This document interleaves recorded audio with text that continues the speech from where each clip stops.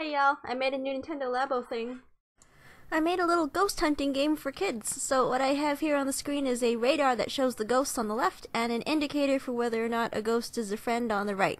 I also have um, this instrument here that detects the ghosts. Like right now it's picking up some ghostly activity here. And oh, there's a ghost. I think they want to be our friend, right? Yeah, they do. Uh, so let's try and find another one. Uh, there's another ghost in the area around here somewhere. Eh, there they are. Uh, so we can shoot the friend rays at them. And they're our friend too. So, uh oh, looks like we're still sensing some paranormal being. Um, there they are. This one's a little less friendly than the others. But now they're our friend too.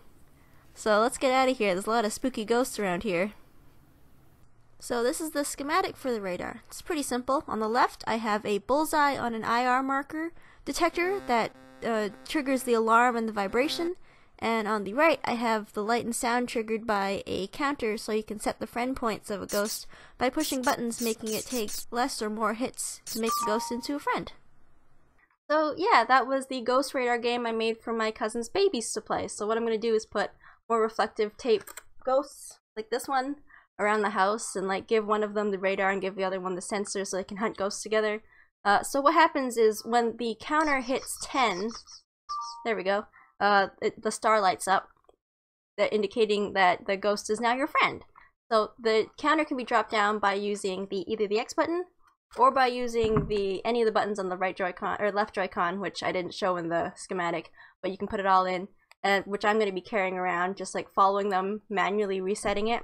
So why I chose to do that is so you can either set the ghost's hit points, well, friend points to either 10, like that, or you could just hit the X button and like set it to like 4 or something. See? Nice and easy. So anyway, I hope you guys enjoyed watching. I really enjoyed making this. I also enjoyed making the video, so leave any questions or comments in the in the comments. and don't forget to like. Uh thanks guys.